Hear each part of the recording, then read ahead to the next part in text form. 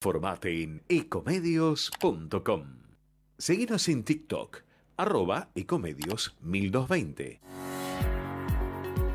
Bienvenidos a Amigos del Sibori, un espacio para dar a conocer y promover el arte argentino. Un encuentro semanal con las principales novedades de los artistas y el arte de nuestro país.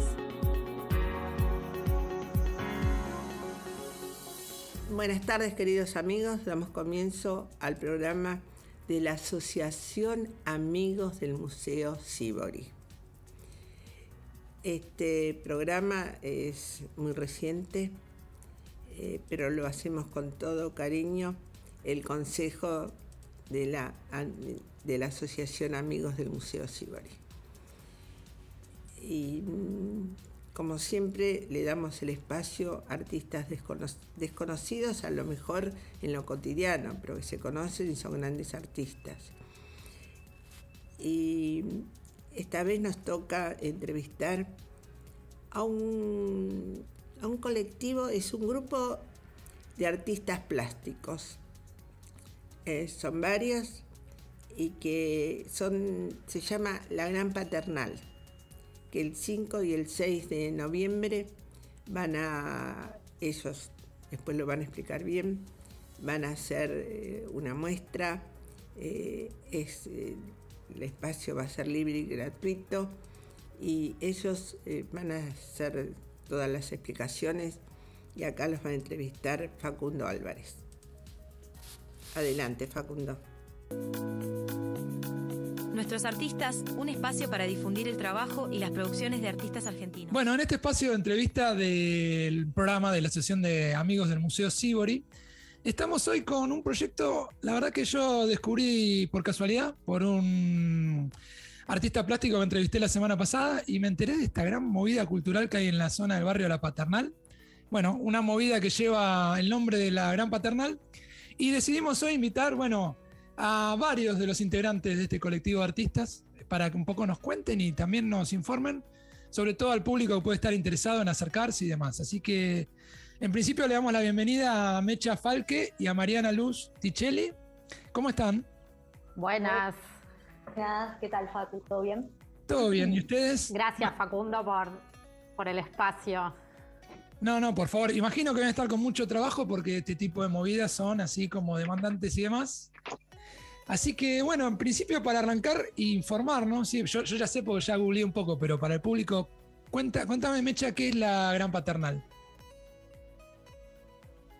Bueno, la Gran Paternal eh, surge en el año 2017 y es una eh, iniciativa autogestionada por artistas del barrio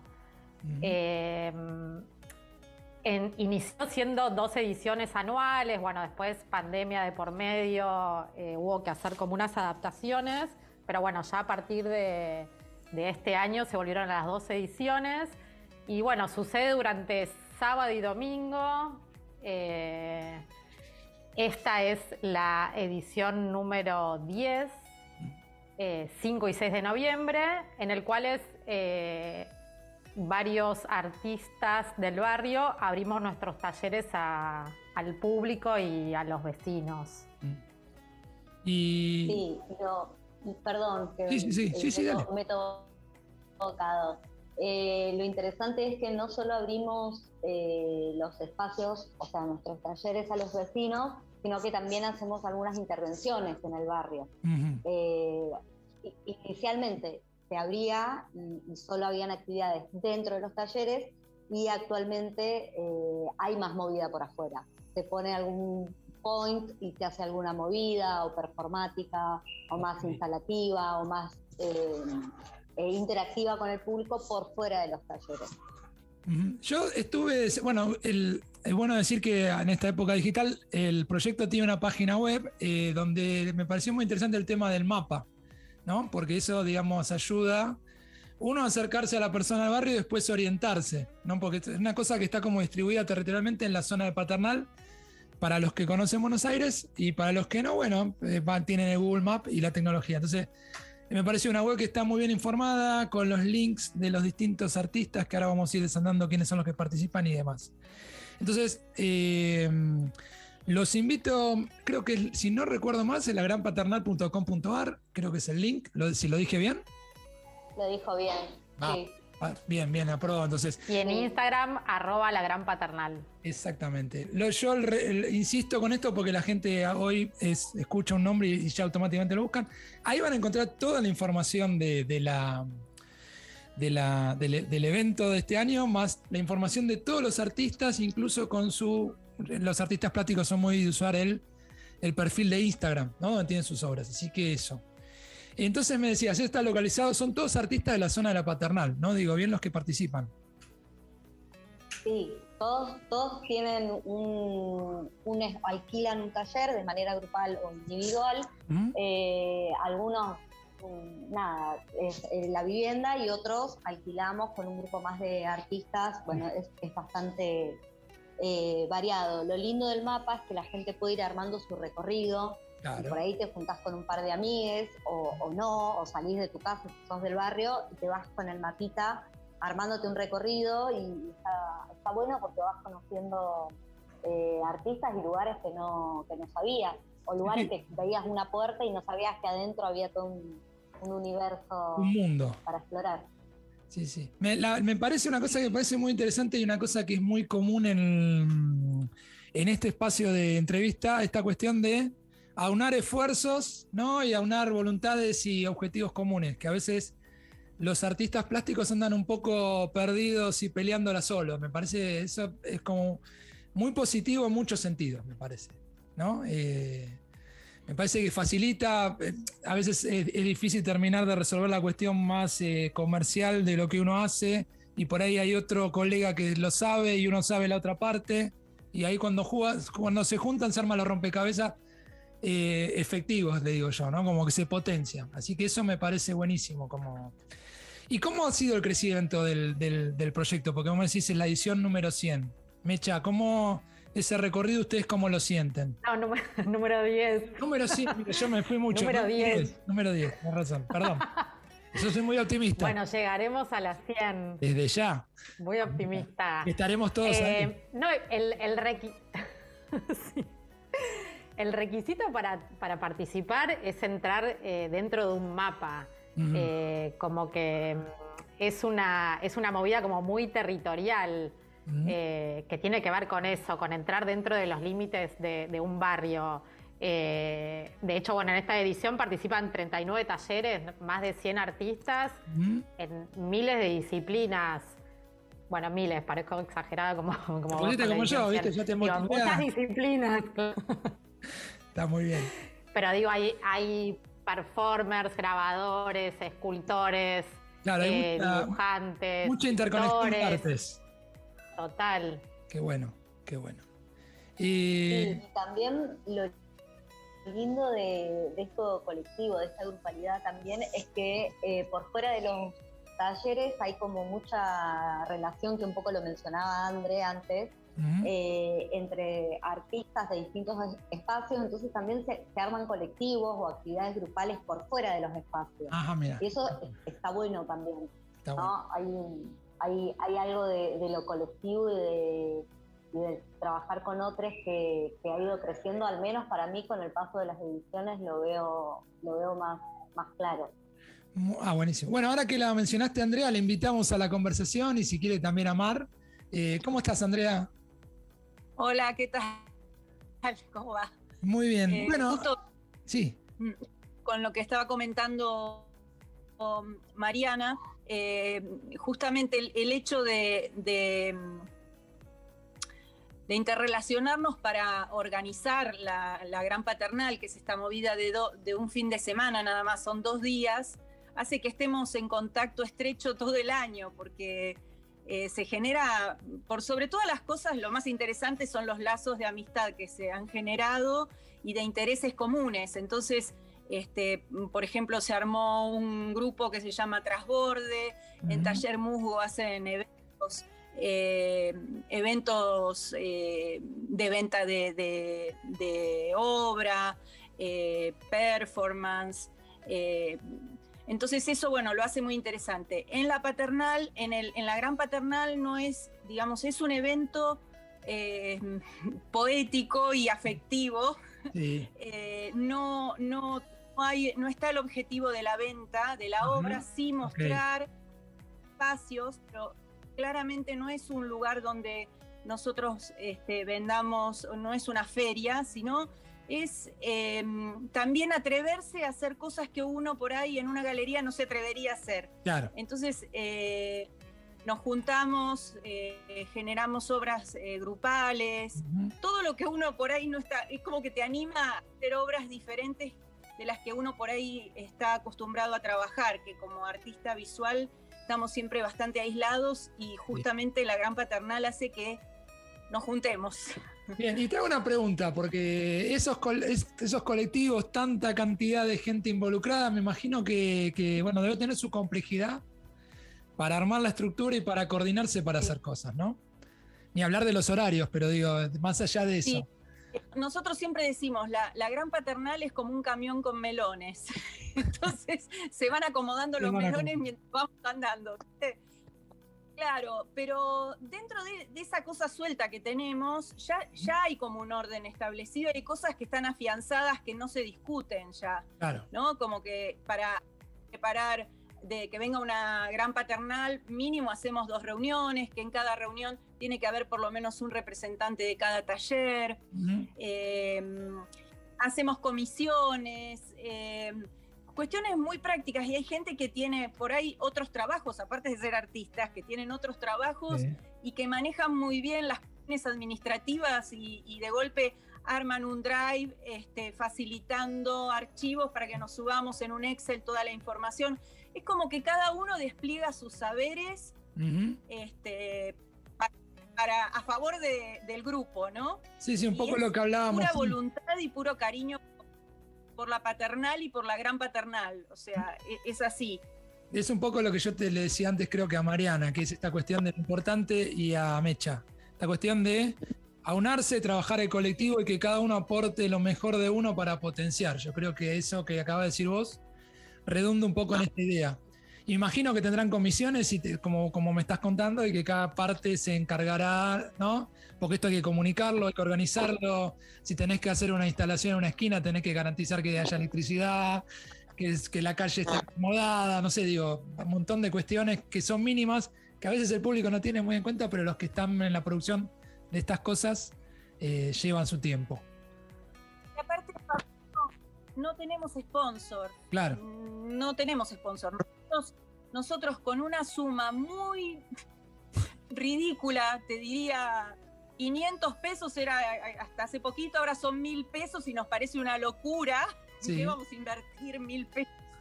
Con muy poquito hacemos muchísimo, porque no necesitamos, este, no, necesitamos sponsor. Nos manejamos solos, resolvemos. Mira, un ejemplo, yo estaba en un grupo que, que estaba la casita rodante, que hicimos una, una instalación en, una casa rodante que hay acá enfrente del taller y pedimos al grupo, ¿alguien tiene un, proyector? Y en, dos segundos teníamos ya cuatro proyectores. Sí, sí. ¿Te das cuenta que nos prestamos?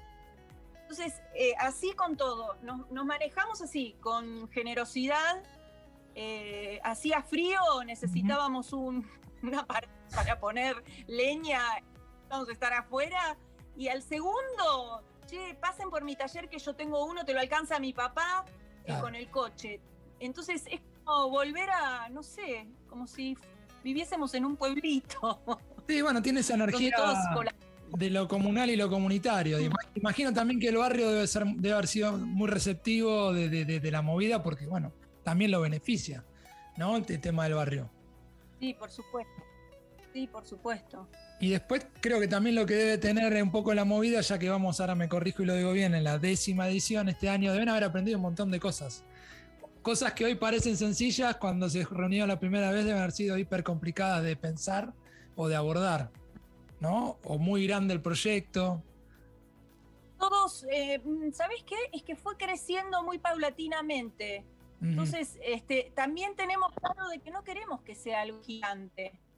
Queremos sostener lo que logramos ahora y, disfrutarlo. Y se van sumando, eh, se van sumando artistas, pero no queremos una... queremos que, sostenerlo humildemente, o sea, que, vaya, que, funcione. Está clarísimo. Que es para lo que nosotros queremos, que no se pierda la escala, que podamos charlar con los vecinos, que nos conozcamos todos como ahora. Bueno, la voy a invitar a Mar ahora a la charla, para que nos cuente un poco, a ver, de, dentro de esas dinámicas que tienen pensadas, qué, qué tipo de actividades se va a encontrar una persona que va a recorrer ese fin de semana por eh, los distintos lugares del evento. Hola, Facu, ¿cómo estás? Em, bueno, un poco como te fueron contando las chicas, tenemos de todo.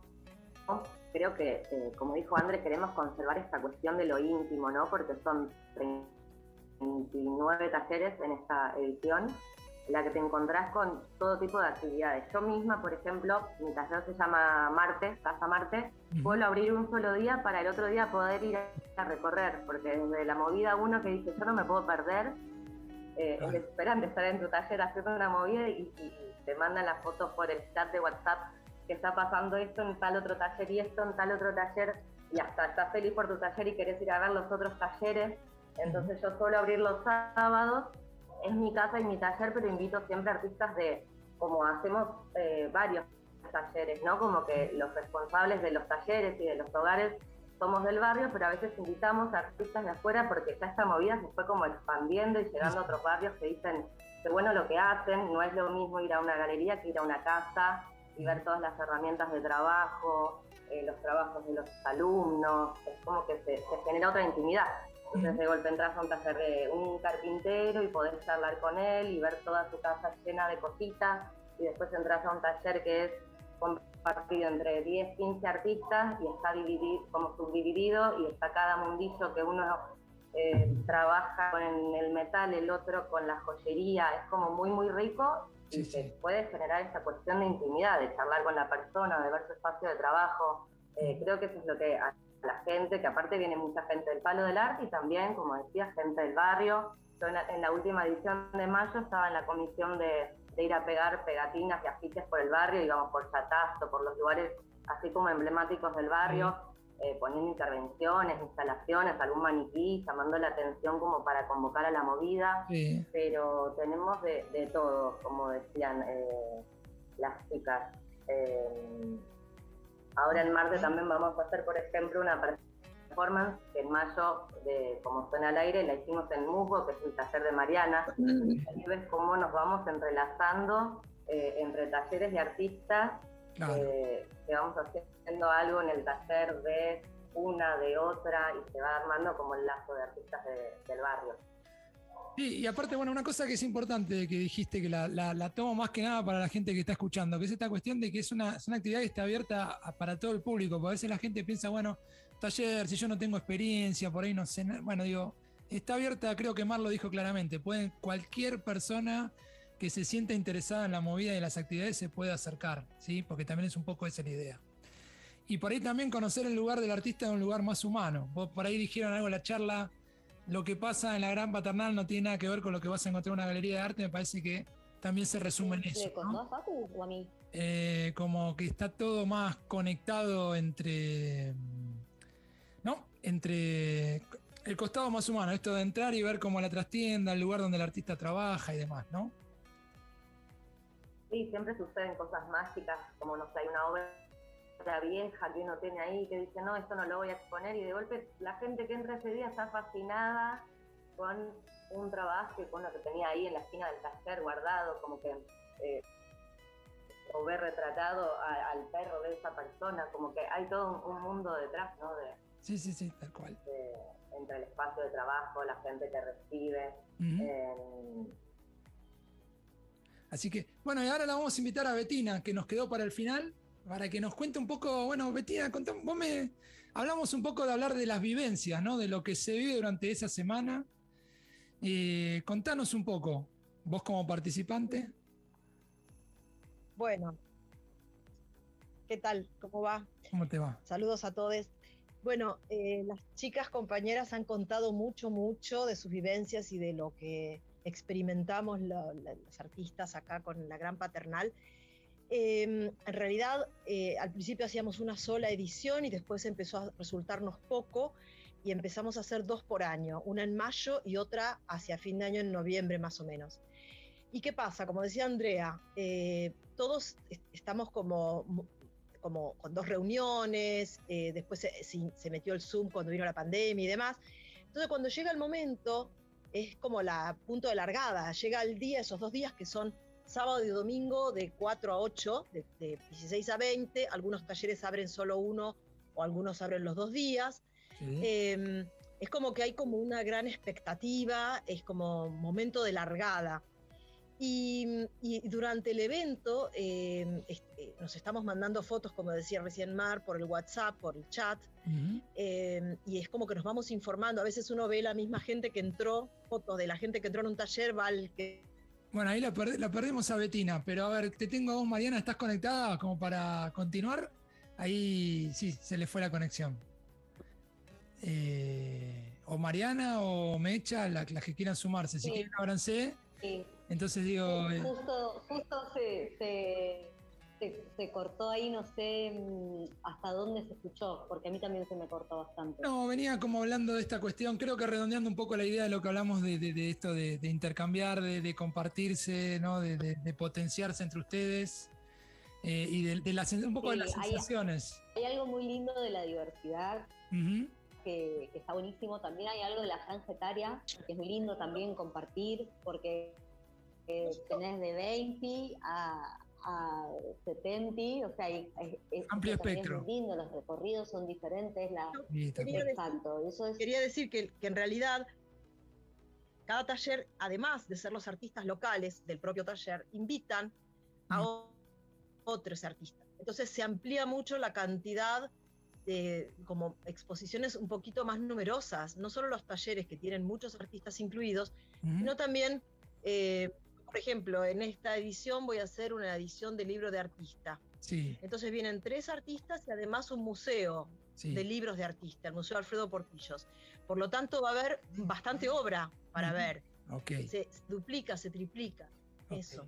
Bien, tiene, tiene como un efecto multiplicador el, proyecto ya de, por sí porque va creciendo año a año y como han comentado eh, varias de las integrantes que entrevistamos hoy, como que van participando y se va abriendo artistas que, por ahí son externos al barrio, pero participan dentro del contexto de la Gran Paternal.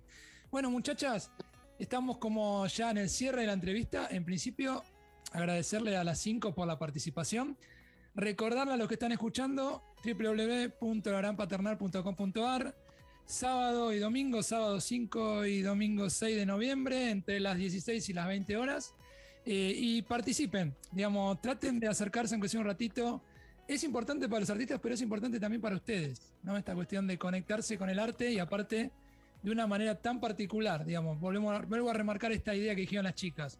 No es una galería de arte, no es un lugar de venta, es un lugar para interactuar con el arte y los artistas. Y por ahí con artistas que uno no conoce, o que por ahí vio una obra y conoce, digo, bueno, por eso, acercarse y ver y aprovechar porque no cuesta mucho armar este tipo de movidas que yo soy honesto, no conozco que haya muchas parecidas. Así que bueno, apoyar para que siga creciendo. Así que en principio saludarlas a las 5, desearles mucha suerte, estaremos ahí visitándolas en los talleres y desde ya quedamos a disposición desde la Asociación de Amigos del Museo para ayudarlas a difundir todo lo que se pueda. Maravilloso. Gracias, Buenísimo, gracias. Vengan. Vengan. Vengan. Sí. Venite, venite. esperamos. Quiero decir una, cosita más. Sí, sí. Que, que, el mapa lo pueden bajar de la página web y en el Instagram también mapa porque muchas veces la gente no sabe cómo, cómo, por dónde arranca. Entonces, en el, en, eh, en el Instagram van a tener eh, el mapa y también en la página web. Bien. Cada taller va a estar el mapa en papel. Ok. Eh, que ahí vas a poder marcar, viste, más analógico. Sí, sí, sí. Y, vas a poder marcar y tener tu propio recorrido. Todavía falta subirlo, porque lo estamos gestando. Bueno. No es, que está en este momento el mapa. Todavía el mapa no está y también estamos en Facebook. Igualmente nosotros eh, vamos actualizando y vamos avisando por redes. Y una Pero todavía el mapa no está. Bueno, buenísimo. Entonces, claro, clarísimo, hay que seguir, hay que tomarse el trabajo de continuar. Ya tienen todos los links, así que a seguirlos. Eh, bueno, y los invitamos nuevamente a que se acerquen. Les dejo un saludo, chicas. Gracias. Gracias, Facundo. Gracias. Arriba Cabrales, arriba Cabrales, significa buen café. Todos los supermercados BEA del país vas a poder encontrar los productos BEA. En Coto trabajamos cada día para brindarte variedad, calidad y las mejores ofertas. Coto es una gran familia argentina que crece pensando en su país. Coto, yo te conozco.